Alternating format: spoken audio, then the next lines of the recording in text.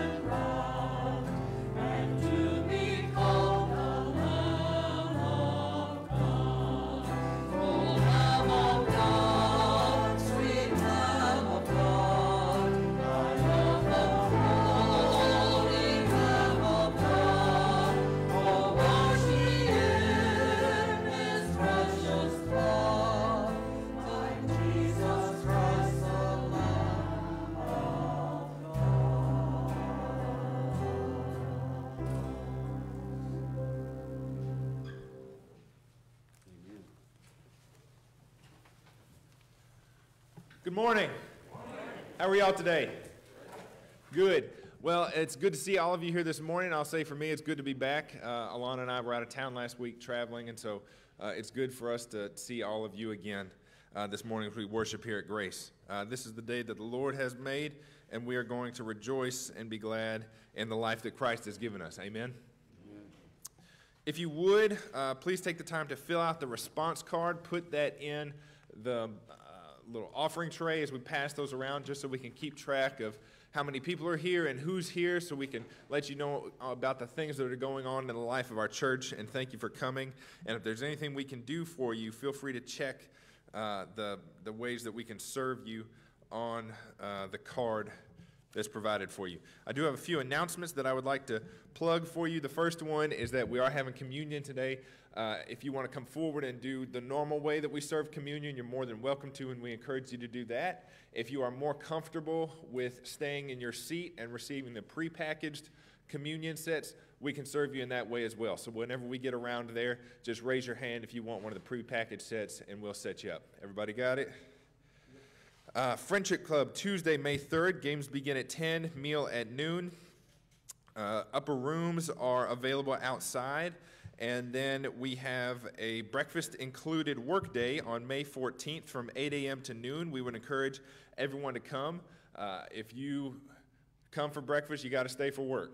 And so don't, don't stay for one and not the other. Uh, and, but we, would love to have you there. Parents' night out, uh, 6 to 9.30 Friday on May 20th. If you're interested in that, talk to Robin.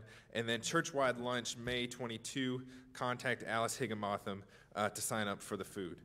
Uh, I do have one more um, rather serious announcement uh, on behalf of, of two members of this church, so I'd like everybody's undivided attention.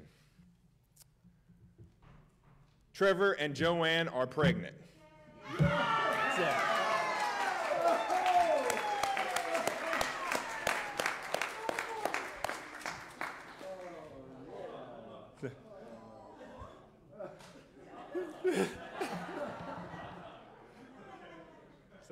we, we are beyond elated for you guys and praying for a, a safe and happy and wonderful pregnancy. And so we're looking forward to that. Let's go before the Lord in prayer. Heavenly Father, we love you. Uh, you are the Lamb of God. You are the Prince of Peace. You are our beginning and our end. You are our provider and our sustainer, and you have brought us here this morning. You're the giver of every good and perfect gift, whether it be the gift of new life, the gift of worshiping you on your holy day, the, wor- the gift of uh, spending time uh, with one another uh, in Christian service, or the gift of just looking up and saying that this is the day that you've made and we get to live in the joy and the light of your creation and salvation. And we just thank you for that this morning. Let everything that we do in this place be pleasing to you, Father. And we say all this in Jesus' name. And everyone said, Amen. If you would, let's stand for our affirmation of faith. Number 881, it will be the Apostles' Creed. This is something that Christians throughout the centuries, uh, regardless of denomination or theological persuasion, have said that this unites us uh, in our Christian belief. And so let's say it together this morning. I believe in God the Father Almighty, maker of heaven and earth, and in Jesus Christ, his only Son, our Lord who was conceived by the Holy Spirit, born of the Virgin Mary, suffered under Pontius Pilate, was crucified, dead, and buried. On the third day he arose from the dead. He ascended into heaven and sitteth at the right hand of God the Father Almighty. From thence he shall come to judge the quick and the dead. I believe in the Holy Spirit, the holy Catholic Church, the communion of saints, the forgiveness of sins the resurrection of the body, and the life everlasting. Amen.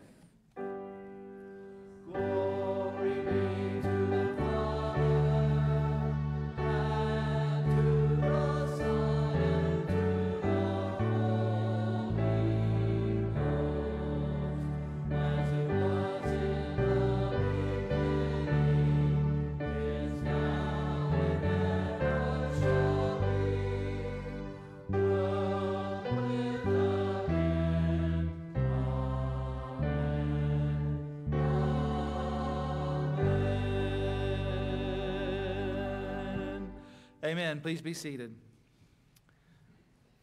Well, we are glad to have you worshiping with us here at Grace this morning. Whether you're worshiping with us in person or online, we are glad to have you, and we are glad to welcome you to this holy place as we gather to worship God and all that He has done for us. We do want to know who you are, so if you haven't done so yet, then please fill out the, the little tear off section of your bulletin. That would be a big help to us. And the prepackaged communion sets are actually on the back table, so you can pick up one of those, slip out during one of the hymns if you would prefer to do it that way, or wave at one of the ushers, and they'll be glad to bring one to you. So, as we come to a time of prayer in our service, I do want to remind you of the prayer request list that is listed on the back of your bulletin. If you have someone or something that you would specifically like for us to pray for, then you can list it on that tear off section of your bulletin so that we can put it on our list. We were talking about prayers this morning in confirmation and how important they are. And so, so I'm reminded, wanted to remind you that if you have something on your heart that you'd like for us to pray for, we want to pray for you. We want to pray for that situation. A couple of folks that I want to specifically mention to you, um, we want to continue to pray for the family of Mona Jowers Kayer, who was um, laid to rest yesterday. That's Kim Ballew's mother, so please continue to pray for that family. Also, um, I found out this week that Mallory Cole Demers had a daughter, Lola Michelle, on Wednesday, and so um, I'll have more details for you about that um, coming up, but we rejoice with them in that addition to their family.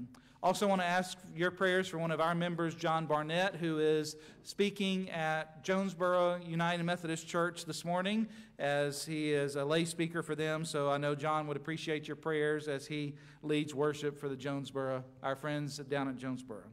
So, those are some of the things that are on our hearts today. Of course, we want to continue to pray for peace in our world. We want to continue to pray for all of our local mission partners and our missionaries across the world. So, those are there for you. I'd encourage you to take your bulletin home and to continue to pray for those folks throughout the week. Are there others that you know of that are in need of our prayers this morning that you would like to mention uh, for us uh, before we pray? Yes, ma'am. From Mark Roberts. Okay the family, Mark Roberts and that family. Okay? Others this morning? Yes, sir. Okay.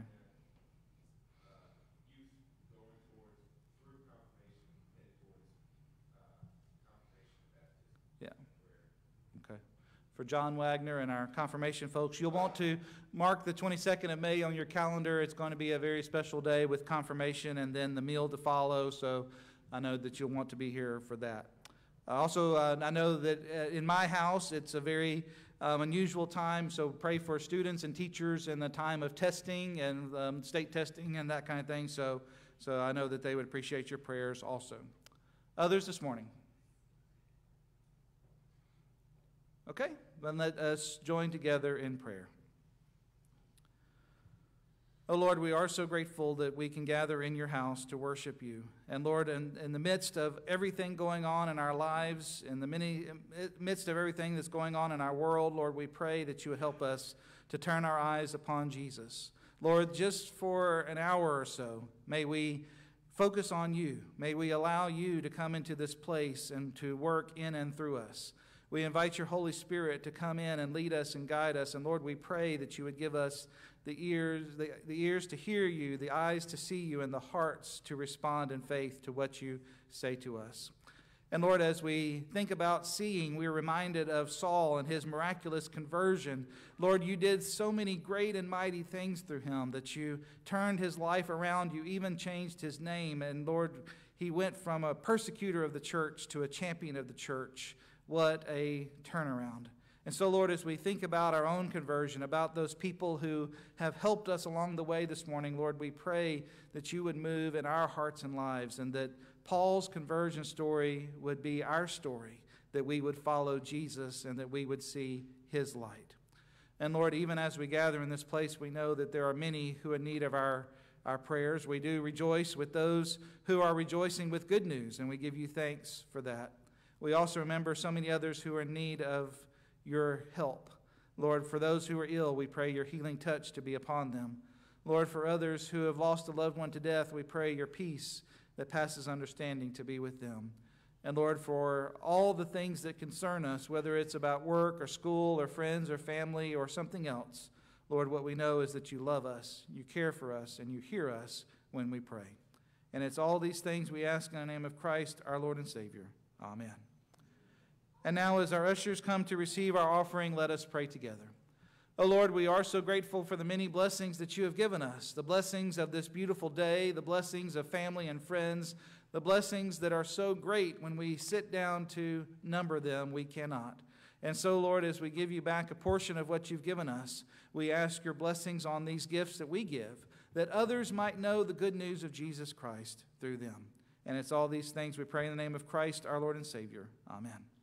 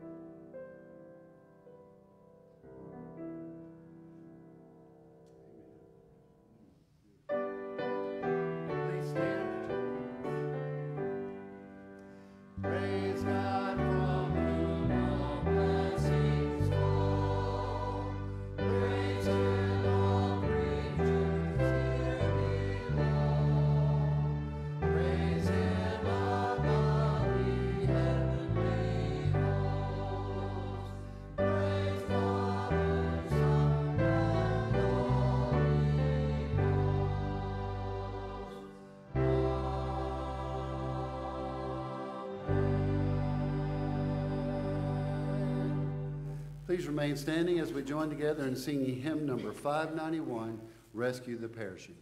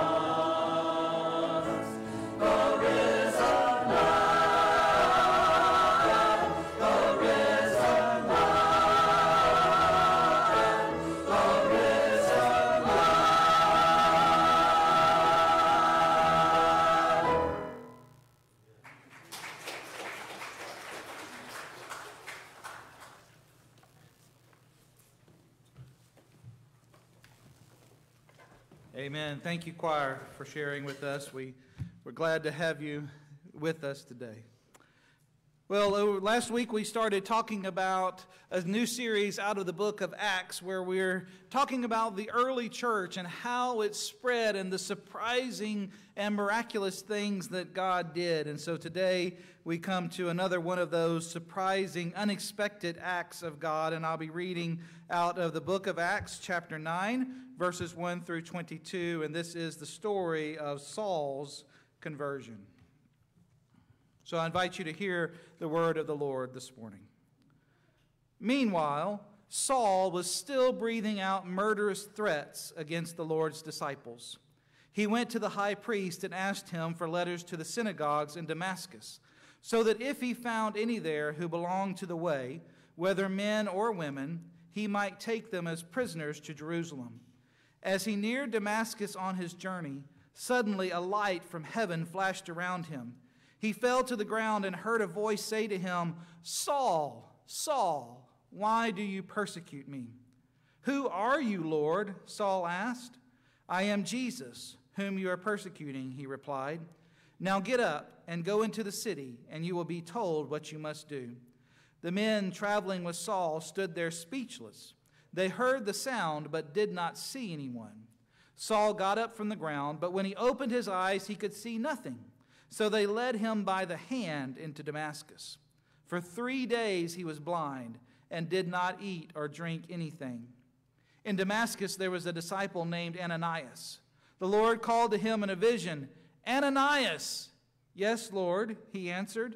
The Lord told him, Go to the house of Judas on Straight Street and ask for a man from Tarsus named Saul, for he is praying. In a vision, he has seen a man named Ananias come and place his hands on him to restore his sight. Lord, Ananias answered, I have heard many reports about this man and all the harm he has done to your holy people in Jerusalem. And he has come here with authority from the chief priest to arrest all who call on your name. But the Lord said to Ananias, Go. This man is my chosen instrument to proclaim my name to the Gentiles and their kings and to the people of Israel. I will show him how much he must suffer for my name. Then Ananias went to the house and entered it. Placing his hands on Saul, he said, Brother Saul, the Lord, Jesus, who appeared to you on the road as you were coming here, has sent me so that you may see again and be filled with the Holy Spirit. Immediately, something like scales fell from Saul's eyes, and he could see again. He got up and was baptized. And after taking some food, he regained his strength. Saul spent several days with the disciples in Damascus. At once he began to preach in the synagogues that Jesus is the Son of God. All those who heard him were astonished and asked, Isn't he the man who raised havoc in Jerusalem among those who call on this name? And hasn't he come here to take them as prisoners to the chief priest? Yet Saul grew more and more powerful and baffled the Jews living in Damascus by proving that Jesus is the Messiah. This is the word of God for the people of God. Thanks be to God. Amen. There was a young boy in a Sunday school class that the pastor happened to be teaching that day. And in the Sunday school class, the pastor asked the children about the meaning of certain religious words like what does it mean to be baptized, repentance, all of those kinds of things. Well, the boy was very interested and was fascinated to learn the meaning to these new words. But then the pastor asked the children, What does the word conversion mean? Well, this stumped the children. They had never heard of that word. And, but one little boy in the back of the class, he thought for a moment and then he gave the only definition that he knew. He said, I know what a conversion is. It's the extra point that's kicked after a touchdown. well, I hope that we know more about conversion than that because we have a basic problem as humans. There is something wrong at the very heart of humanity. All you have to do is turn on the news or open the newspaper to realize that this world is not the way God designed it to be. There is something sick, something twisted, something wrong sometimes something where we choose our way instead of God's way. Now, we have another big theological word for that. We call it sin when we choose our way instead of God's way. But what is the solution? The solution is called conversion, which we see this morning. Now, conversion in a biblical sense, it means literally to change direction. In the Old Testament, it is the Hebrew word shub, meaning to return or turn back. The verb form of that word appears over a thousand times in the Old Testament, and it is the 12th most frequently used verb in all of the Old Testament. In the New Testament, we use words, Greek words like epistrepho and metanoia, to both indicate a change of direction. That word metanoia, it means a literal about face, doing 180 degrees different than you were going before. And change is what conversion is all about.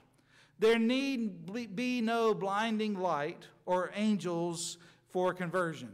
Instead, what there must be for conversion is a change of direction. So, our text this morning from the book of Acts may be the most famous conversion in all of history the conversion of a fellow named Saul, who became St. Paul. And so, the ninth chapter of Acts begins with Saul making a 150 mile journey from Jerusalem to Damascus. And he has one focus to stamp out the fire that is this new religion called Christianity. He has permission to take whoever calls on the name of Jesus to prison and to persecute them eh, on behalf of the Jews in Jerusalem. He is on his way to Damascus when the light finds him. The Bible tells us that on his journey, a light flashed from heaven around him. All of a sudden, without warning, Saul is bathed in S O N light, so bright that is, is even brighter than S U N light. Now, in Acts 26 13, Paul is giving his testimony to a king named Agrippa. And he says that this happened, this took place, this miracle, this conversion took place at high noon when the sun would have been at its hottest and brightest. And still, Paul says that the light I saw from heaven was brighter than the sun, blazing around me and my companions. Of course, we know that this light was none other than the light of Jesus Christ, which makes perfectly good sense because in John 8, verse 21, Jesus says, I am the light of the world. David writes in Psalm 27, verse 1, The Lord is my light and my salvation. Now, it's obvious that this is no ordinary light that Paul, that Saul ran into, right? It changed his direction. This light that blinded the eyes in his head opened the eyes of his heart. It led Saul to one of the most dramatic conversions in all of the world. So, what can we learn from this surprising, unexpected conversion of a fellow named Saul, and what does it mean to us? The first thing I want you to see is that conversion requires surrender. Conversion requires surrender. So remember that Saul is going to Damascus with a mission, right? He's not going to tour the city, he's not going to see the sights, he is not going for a visit, but he is going on a mission to stamp out Christianity.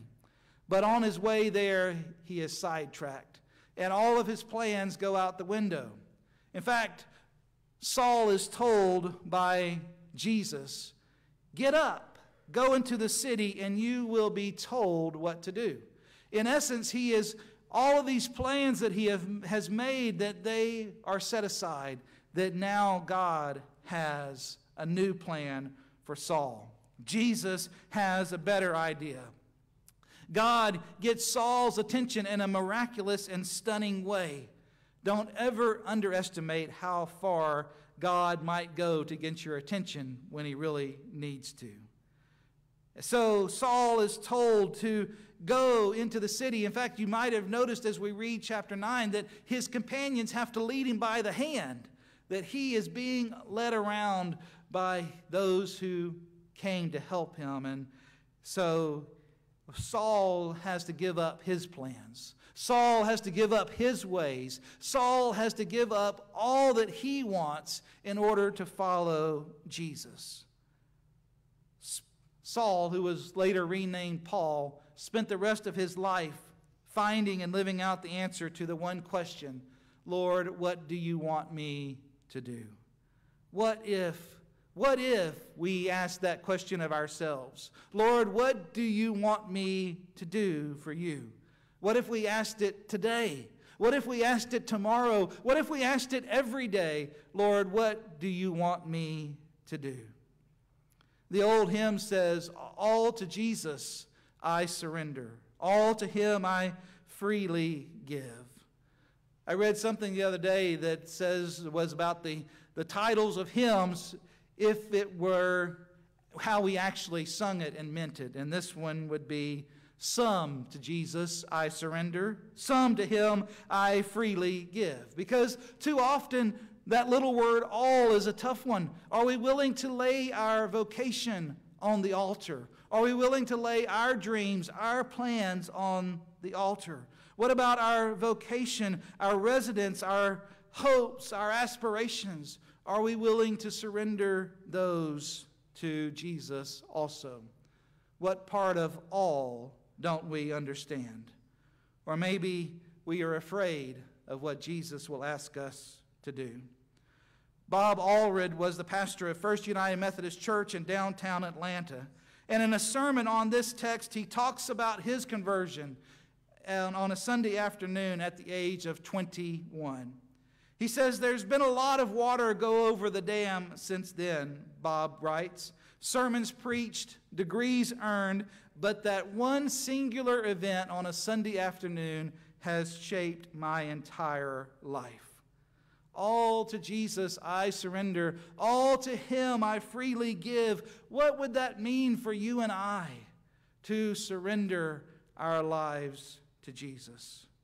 Maybe there are things we need to let go of today, not of the things that make us, but the things that break us. Conversion, first of all, requires surrender of our plans and instead acceptance of God's plans.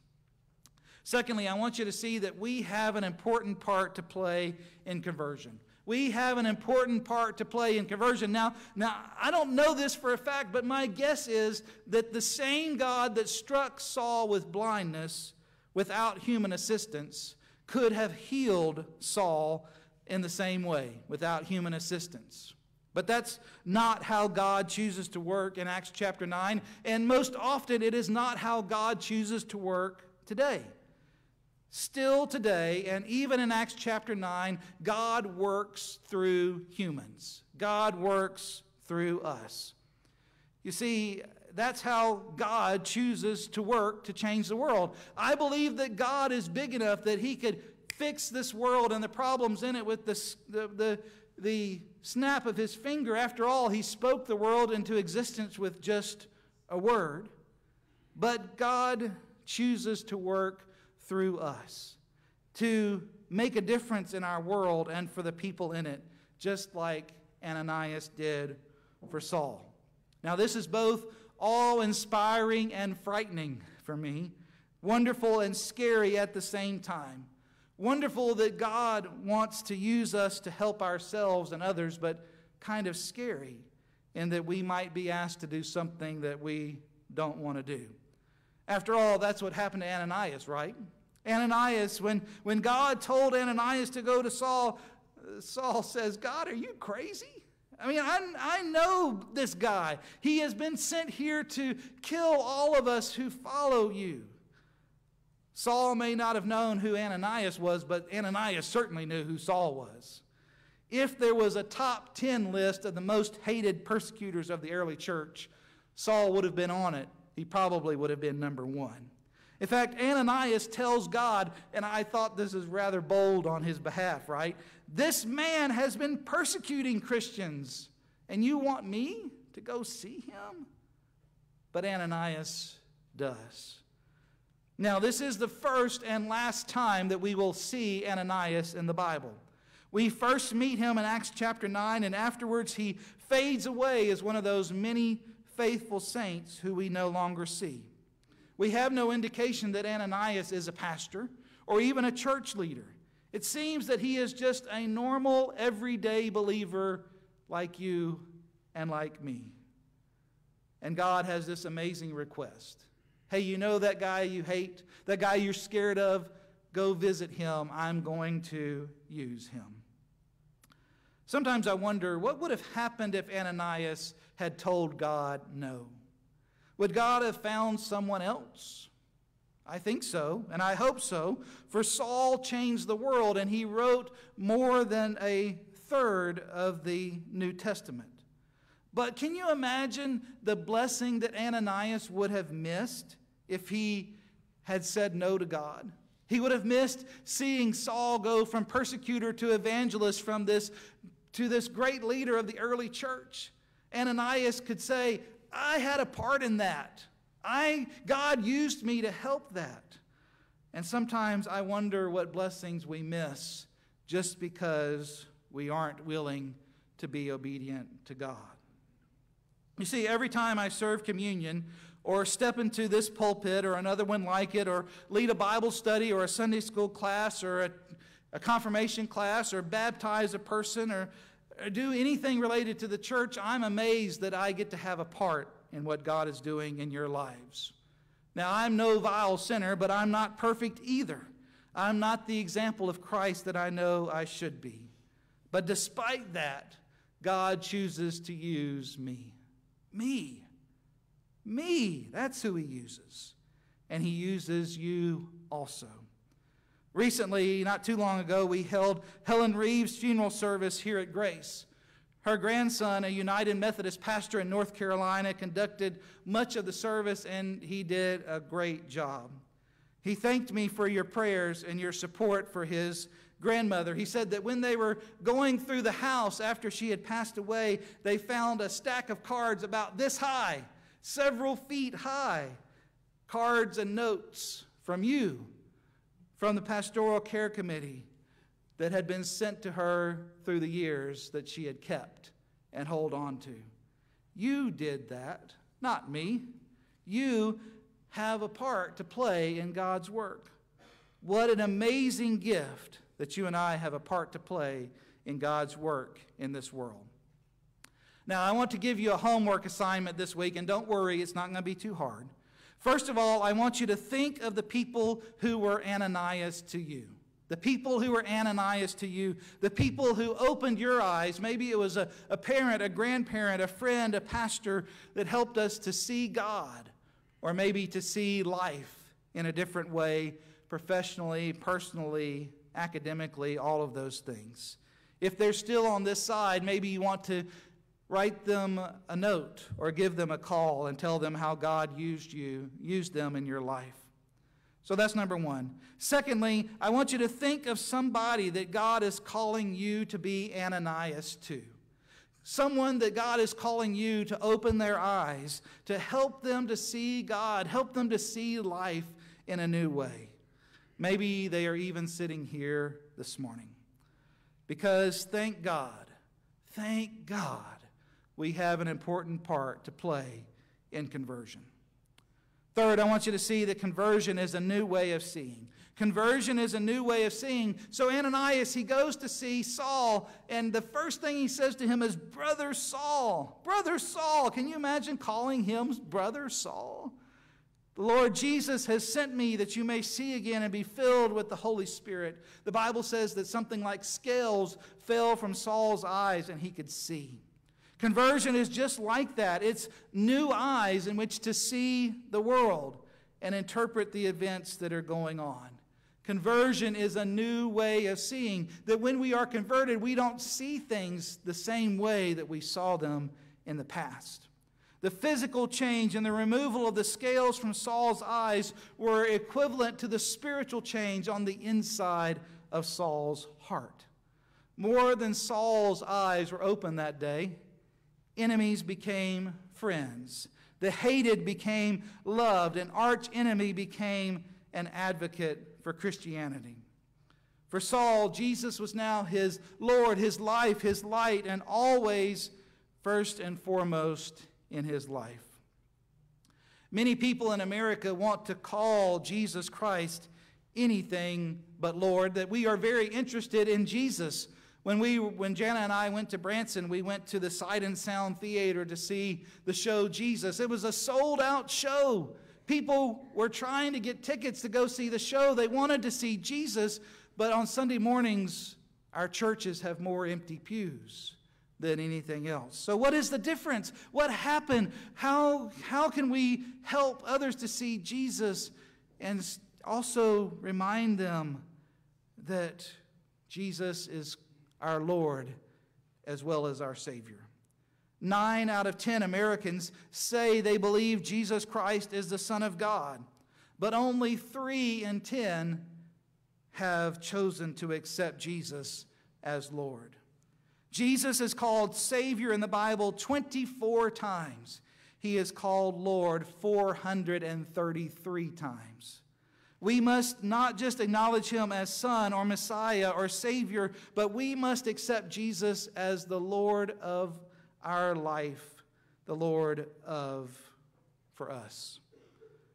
You see, Saul, this man of violence, he would one day say that Christ is our peace. He would one day say that Christ has broken down the wall of hostility and reconciled us to God. He would one day say, In Christ there is neither Jew nor Greek, slave nor free, male nor female, but one great fellowship of love throughout the whole wide earth. If that is not transformation, what in the world is? Conversion is a new way of seeing. The last thing I want you to see is that conversion is a new way of living. Conversion is a new way of living. You see, Paul's life changed. His past had been er-, erased, and now God was going to use him to do something different. O Saul's past, it may have been soiled, but his future was spotless. And so Ananias was sent by God to help him to help him find his new way of living. His previous life was swept away after his Damascus Road experience. His eyes were opened, and so he immersed himself in the teachings of the apostles. He immersed himself in the fellowship of the believers. He studied and prayed, and he became like Jesus. His conversion was not the end, but it was only the beginning. You see, we talk about that a lot with confirmation, is that confirmation is not the end, that when you're confirmed, when you accept Jesus, you haven't figured it all out, but it's a step on the way. Saul, the man of hate, had become Paul, the man of love. And he wanted to share that love wherever he went. Verse 20 tells us that immediately, immediately, right away, he didn't go to seminary. He didn't wait till God appointed him or anointed him. He preached Christ in the synagogues. He said that Jesus is the Son of God. it's one of those things that I wish I could have been there. Can you imagine going to synagogue that day? Here is the great inquisitor of the Sanhedrin, carrying with him these documents that demand full cooperation in rooting out the heresy of Christianity. He is given the chief seat, the pulpit, every eye in the place is on him, and Saul asks for the scriptures to be handed to him, and they know that here, that finally there is going to be a denunciation of this heresy called Christianity, that Jesus is the Messiah and the Savior, the Son of God. Can you imagine the look on their faces when Paul opened his mouth and said, Jesus Christ is the Son of God, risen from the dead. He is Lord, and he has appeared to me on the road. Saul met Christ. And when he did, his whole life changed. He became an entirely new person. The rest, they say, is history. That that one life went out and changed the world. No, it was not always easy. Paul, who used to be named Saul, writes this in 2 Corinthians chapter 12. Five times I received from the Jews 39 lashes. Three times I was beaten with rods. Once I was stoned. Three times I was shipwrecked. I, was, I have known hunger and thirst. I have been cold and naked. Besides everything else, I faced the daily pressure of my concern for all the churches. But when I am weak, I have discovered that I am strong in the Lord. Lee Strobel is a professor at Houston Baptist University, and, and he converted to Christianity as an adult. Recently, it's been made into a movie and all those kinds of things. But he says that the greatest assurance of his conversion came months later when his five year old daughter went up to her mother and said, Mommy, I want God to do for me what he's done for daddy. And she also became a Christian because she knew no arguments in favor of Christianity. She, the little girl, she simply observed that her daddy had changed and she wanted what he had. Her reasoning if God can do that for daddy, then I want God to do it for me. Never underestimate the impact of a life that has been changed for God. Conversion is a new way of living. Thinking about this text this week got me thinking about my own conversion experience. I was seven years old, and the church we attended in Beaumont, Texas was in revival. I had been asking my parents and my pastor questions about Jesus, but I had not made the decision for myself to follow him. And I distinctly remember that during that service, that during the invitation, I was drawn to the front of the church, much like a magnet, much like a magnet draws iron to it. I knew that I was, I was being called to accept Christ. I knew that I wanted to follow Jesus. It's a feeling that I still remember to this day. I accepted Christ and I was baptized on Easter Sunday. You see, conversion is different for every person. Maybe it happened like that for you, maybe it didn't. Maybe, maybe you just realized that I followed Jesus. God didn't blind me with light like he did with Saul, nor I suspect will God do so for you. But I imagine that if you think back, you might have had some experiences, some conversion experiences that you remember. Maybe it was when you knelt at an altar like this one at confirmation and hands were laid on you. Or maybe it's when you felt God at a worship service or a church camp or a weekend retreat. Thank God that God is still in the conversion business. So I hope and pray that conversion is more to you than an extra point after a touchdown. I hope that Saul's experience on the Damascus Road will help you see the light and that we all need to be converted. So, conversion, it requires surrender. We have an important part to play in conversion. Conversion requires a new way of seeing, and conversion requires a new way of living. Saul became a fellow named Paul. He wrote about a third of the New Testament, and he helped thousands know Jesus, millions throughout the ages. A surprising conversion that changed the world. And the best news for us is that God is still in the converting business, surprisingly working in your life and in mine. In the name of the Father, and of the Son, and of the Holy Spirit. Amen.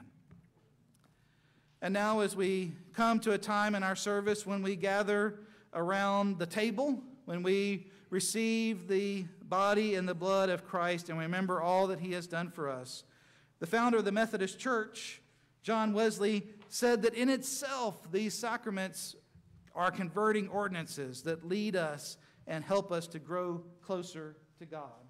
So I'm going to invite you to take your hymnal and turn with me to page 12 as we prepare to celebrate a service of Word and Table number two. While you're turning, I want to remind you that this is not a Methodist table. It is our Lord's table. So if you are here this morning and you're a guest, if you, you are welcome at this table. If you simply want to follow Jesus, you are welcome at this table. So all are welcome at the Lord's table. Hear now this invitation. Christ our Lord invites to his table all who love him, who earnestly repent of their sin and seek to live in peace with one another. Therefore, let us confess our sin before God and one another. Merciful God, we confess that we have not loved you with our whole heart. We have failed to be an obedient church. We have not done your will. We have broken your law. We have rebelled against your love. We have not loved our neighbors, and we have not heard the cry of the needy. Forgive us, we pray.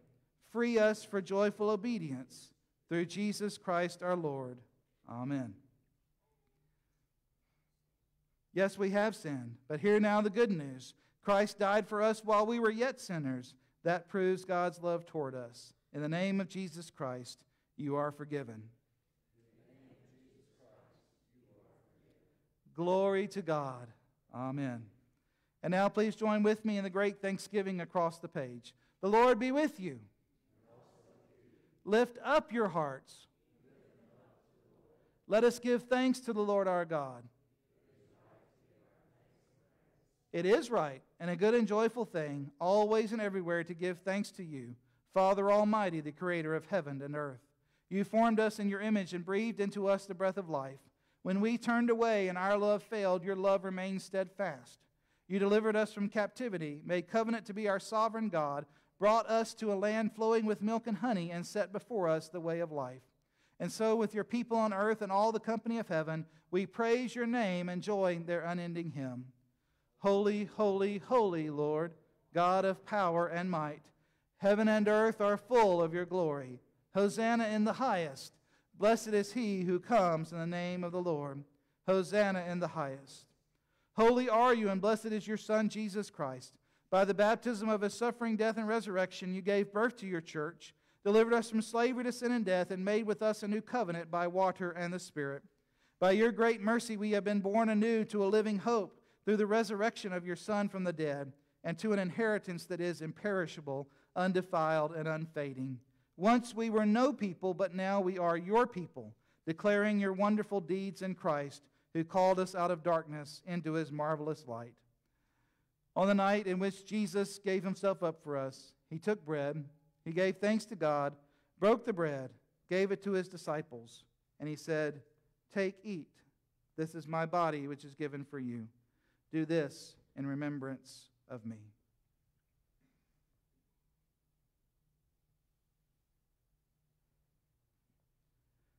And then, after the supper was over, Jesus took the cup.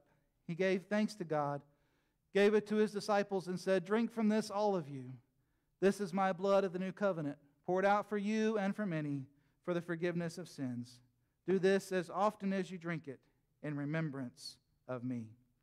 And so, in remembrance of these, your mighty acts,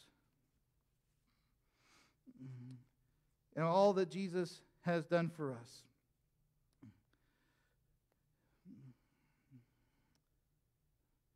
In remembrance of these, your mighty acts in Jesus Christ, we offer ourselves in praise and thanksgiving as a holy and living sacrifice in union with Christ's offering for us as we proclaim the mystery of faith.